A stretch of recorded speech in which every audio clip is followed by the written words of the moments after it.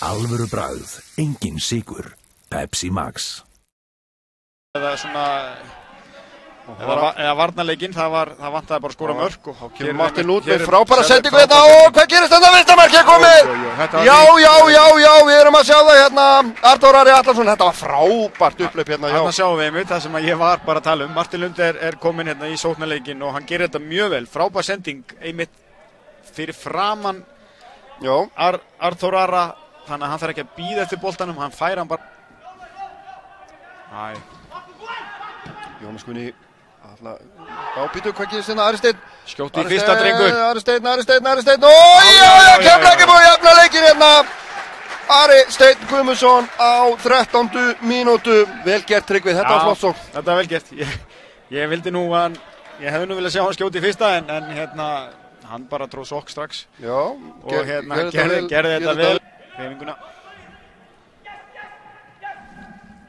Þá er það Gísli Ejólfsson Vel gert Gísli og sendi hvernig fyrir. Og mark! Já, Já, já, já, já, já, já, já Var það ekki bara Artur Ari aftur? Nei, Já, mér síndist þetta að vera hérna, er þetta ekki bara sólón, nema að þetta hafi bara verið Sjálfsmark. sjálfsmark. Já. Vegna þess að já, ef að sólón hefði skorað gruna með að hann hefði fagnað eitthvað aðeins meira já, ég held þessi sjálfsmark. Ára aðstofþjálfari hjá FH í Hafnarferðinum Þá kemur Viljum Já, Þór það eiginlega Viljum, hvað gerir Viljum Þór? Viljum Þór, ó, mark! Já, já, já, já, vel já, gert já þarna hjá Viljum Já, hann já, já, já, gjössalega fíflar gjössalega fíblar varnamenn Og það er hérna. Sólón Breki sem fær þetta mark. Já, hann fagnaði þessu þannig að við vitum Já. að hann skoraði þetta. Við sáum það líka. Við sáum það líka. Við erum, við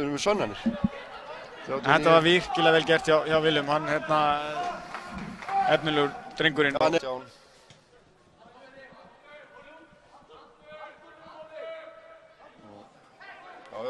Gísli hérna algjörlega aðleitt. Og Valdaður, Ó, Atli. Atli Sigur á mark, Atli Sigurjónsson kemur brefleg hér í fjögur eitt með marki á 74. mínútu. Já, Tryggvi, Já, þetta bara, ég talaði mitt um, já, undistrykka eitthvað það sem ég var að segja. Þetta er bara akkurat hérna, munurinn á liðanum. Þetta var bara mjög lélugu vartanleikur Já, hjá keflingum þarna. mjög. Gísli,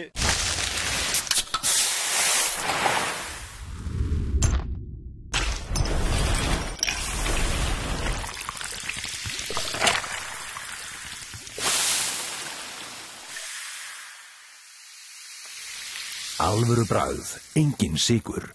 Pepsi Max.